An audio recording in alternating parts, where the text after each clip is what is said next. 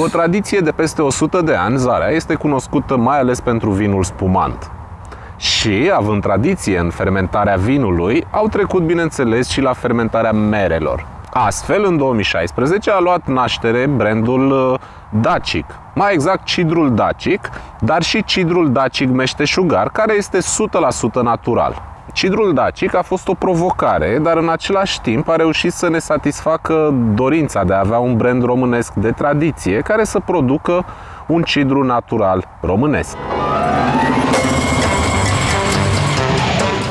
Zarea este una dintre cele mai vechi eh, companii din România în producția de eh, băuturi alcoolice. Eh, rădăcinile ei se trag din 1912, când un cetățean german Wilhelm Ott a sosit în România și a deschis o mică fabricuță de vinuri spumante realizate prin metoda tradițională, adică prin fermentare în sticlă.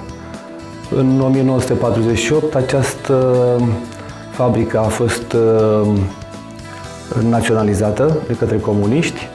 Uh, a trecut iarăși printr-o perioadă de glorie și în perioada aceasta comunistă pentru că și-a dezvoltat foarte mult portofoliul de la spumante către diverse alte băuturi spiritoase, către uh, brandy, către bitter realizat din diverse plante medicinale, lichioruri și alte produse pe bază de vin și uh, în 2007 a fost uh, reprivatizată.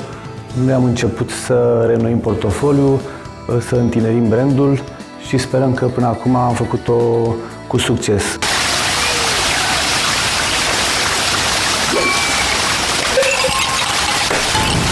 Noi, ca și ADN, ca să spunem așa, ne considerăm niște specialiști ai fermentării vinului. Uh, în acest sens uh, avem și o cramă în Otopeni unde uh, este produs vinul spumant prin fermentare în sticlă, dar de asemenea folosim și alte metode de fabricare a vinului spumant, cum ar fi metoda ASTI, adică fermentare din must, pentru a obține vinuri spumante dulci, aromate, cum ar fi cele de tămeasă românească, de muscat roze, și facem și fermentare în tank pentru Uh, vinuri de masă, vinuri proaspete, pentru a obține um, spumante de larg consum. Ulterior, ne-am gândit să folosim capacitățile noastre de fermentare și pentru cidru și am căutat sigur să lansăm un brand uh, care să fie uh, potrivit cu numele de Zarea. Zarea este un brand tipic românesc, este iubit de români, este ca un simbol național al României și ne-am gândit că cel mai bun pentru Cidru ar fi un nume care să trezească aceleași sentimente naționale curate și sănătoase, zice eu, pentru un popor. Ne-am gândit la brandul Dacic. Din studiile noastre de piață a reieșit că consumatorilor români le place bogăția de arome, motiv pentru care am lansat o gamă destul de largă de gusturi, sub uh, brandul acesta al nostru Dacic uh, Romanian Ciders. Ca o noutate absolută, anul trecut uh, am lansat și un cidru cu tărie alcoolică mai mică, de 1,9% tărie alcoolică versus celelalte clasice care sunt 4,5% tărie alcoolică.